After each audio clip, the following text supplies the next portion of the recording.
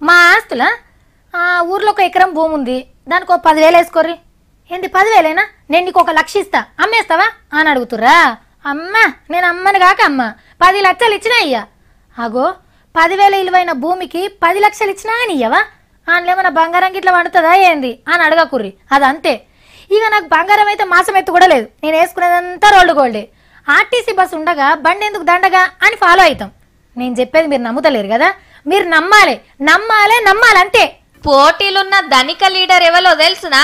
కోమటిరెడ్డి రాజగోపాల్ రెడ్డి అన్న మునుగోడ్ల పోటీ చేస్తున్న ఈ కాంగ్రెస్ లీడర్ ఆస్తి మూడు వందల అరవై ఆరు కోట్లు. రెండో ర్యాంకుల నాగర్ కర్నూలు కారు గుర్తు మర్రి జనార్దన్ రెడ్డి అన్న ఈయన ఆస్తి నూట యాభై తొమ్మిది కోట్లు. భువనగిరి కాంగ్రెస్ లీడర్ కుంభం అనిల్ రెడ్డి అన్న నూట యాభై ఒక్క కోట్లతోని మూడో శ్రీమంతుడైన లీడర్.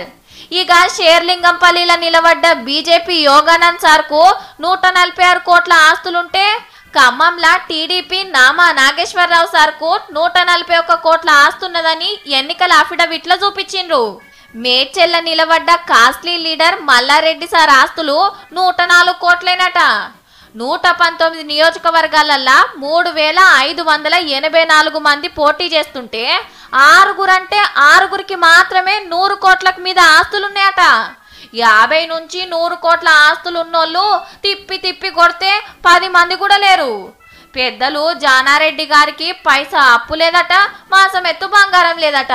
చిత్రం ఏంటంటే బ్యాంకుల బ్యాలెన్స్ లేదు ఎక్కి తిరిగ కారు లేదు మా మేడానికి బంగారం లేదు అని కాగితాలు సమర్పించిన గరీబ్ లీడర్లు ఎందరో ఉన్నారు.